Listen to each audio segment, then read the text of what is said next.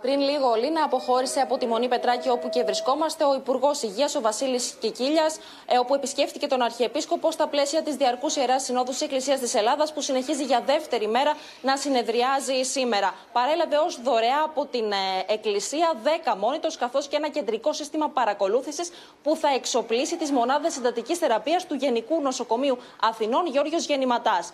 Ε, ο Βασίλης Κικίλιας, ο Υπουργός, λοιπόν, ευχαρίστησε τον Αρχιεπίσκοπο για αυτή την κίνηση που τη χαρακτήρισε ουσιαστική, καθώς ε, είπε ότι το συγκεκριμένο νοσοκομείο αντιμετωπίζει σοβαρά περιστατικά, ενώ από τη μεριά του ο Αρχιεπίσκοπος εξέφρασε τη χαρά του για το γεγονός ότι μπορεί να δώσει ιατροτεχνολογικό εξοπλισμό, ο οποίος μπορεί στα χέρια των ειδικών να χρησιμοποιηθεί για την αντιμετώπιση δυσκολιών.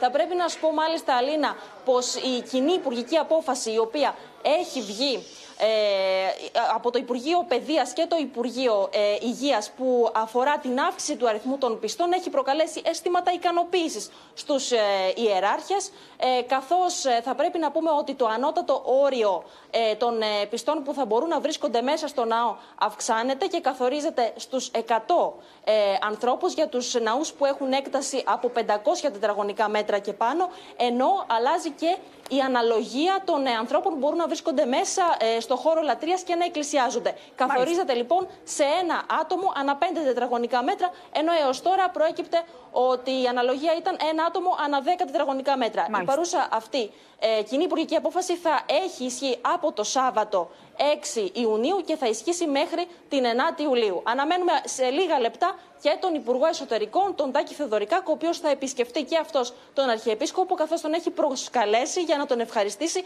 για την προκήρυξη ε, θέσεων και την πρόσληψη προσωπικού μέσω του ΕΔ που κατανέμεται στις Μητροπόλεις. Σε ευχαριστώ πολύ και εμείς πάμε να παρακολουθήσουμε τι είπε ο Βασίλης Κικίλιας για τη δωρεά της Εκκλησίας. Θέλουμε να σας πούμε σήμερα ότι και συμπαρασταθήκαμε όσο το δυνατόν και κάτω από δύσκολες για μας και σκληρές συνθήκες. Και θα θέλαμε να σας πούμε ακόμη ότι σας χρωστάμε ένα μεγάλο ευχαριστώ.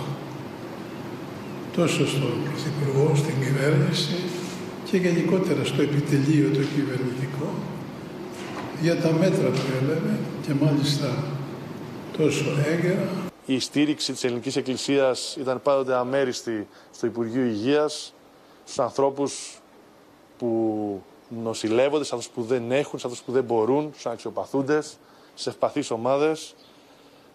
Ε, είμαι πολύ χαρούμενος που πήγαμε καλά με τη βοήθεια όλων αυτών μαζί και διεφάνει νομίζω ότι η αλληλεγγύη και η αγάπη και η, η ομόνια είναι ανώτερες από όλα αυτά τα οποία δήθεν ε, μας χωρίζουν.